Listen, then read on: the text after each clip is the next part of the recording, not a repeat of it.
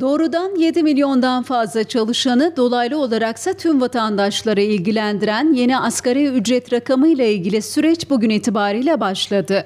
Asgari Ücret Tespit Komisyonu'nun asgari ücrete yapılacak ara zammı belirleme çalışmaları kapsamındaki ilk toplantısı bugün gerçekleştirildi. Basına kapalı gerçekleştirilen toplantı bir saat sürdü. Toplantıda işveren tarafı adına TİSK Genel Sekreteri Akan Selkoç, İşçi tarafı adına Haber İş Sendikası Genel Başkanı Veli Solak yer aldı. Solak toplantı sonunda yaptığı açıklamada bayramdan önce bitmesini istiyoruz. İkinci toplantı yarın olabilir, ertesi gün olabilir.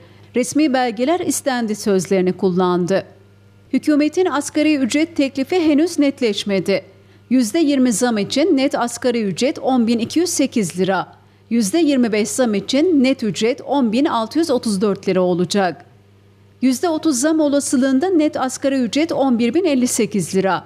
%40 zam ihtimalinde de net asgari ücret 11.910 lira. İşveren maliyeti 16.463 lira olarak hesaplanacak. Asgari ücret bir işçi için aylık brüt 10.008 lira.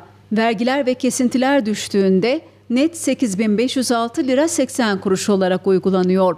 Asgari ücretin işverene toplam maliyeti bir işçi için 11.759 lira 40 kuruş. Bunun 10.008 lirasını brüt asgari ücret, 1551 lira 24 kuruşunu sosyal güvenlik primi, 200 lira 16 kuruşunu işveren işsizlik sigorta fonu oluşturuyor.